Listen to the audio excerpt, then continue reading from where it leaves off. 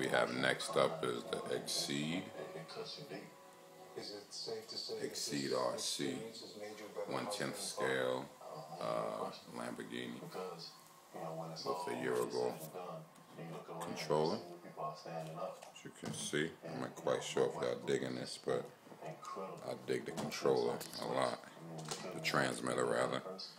Just in case you can see, it's pretty cool.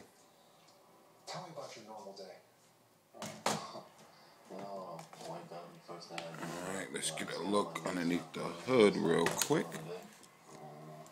I go from there and uh, you know I just try to you know I just try to keep my mind you know focused on the right things. Are you able to work out? Yeah. Here we go. I actually work out about four about four days a week. Just brush it off a little bit from sitting around the house. So we'll, uh, like that, but Just basically brush off the Lambo. You had an opportunity to experience something Sure. pretty special to you. Was it not? It just in everyone there? Show you working parts here.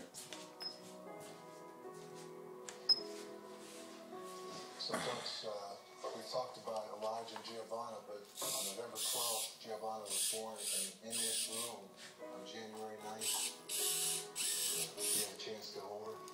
yeah, you know um, It's a pretty cool car. I like it. Um, it's pretty fast.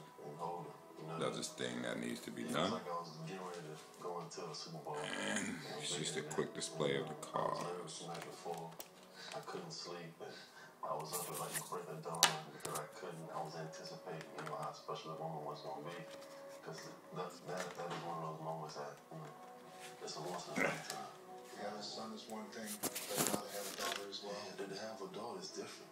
You know, it, it changes your thought process and your mindset on a lot of different things. Plex, um, we're seeing it a lot these days. Athletes and guns. Why is it so prominent? There you go. can speak from a person. Exceed. You know, I, I RC.